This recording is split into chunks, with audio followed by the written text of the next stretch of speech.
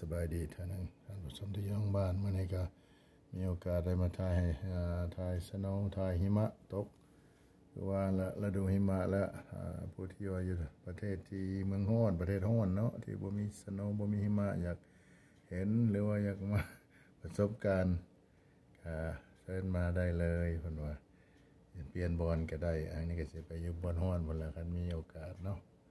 เออหนาวหลายหนาวหลายอ่า คือว่าละหลีกเลี่ยงบ่ได้ยามหนาวจังซี่มันก็จำเป็นเนาะต้องได้อยู่นํสภาพนกเก็บินเข้ามาละ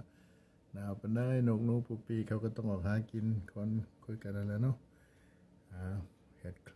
ถ่ายคลิปสั้นๆ ฝากมาให้พี่น้องอยู่ทางบ้านได้เห็นนํกันเนาะ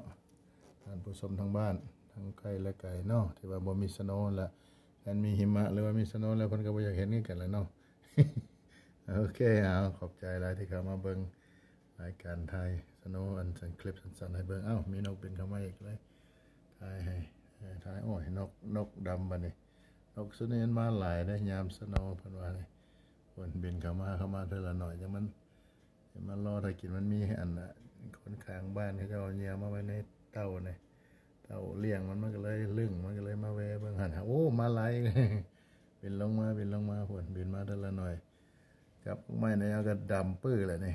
เอาถ่ายมึงอีกหน่อยพดเป็นเข้ามาอีกแล้วเอาเอามามา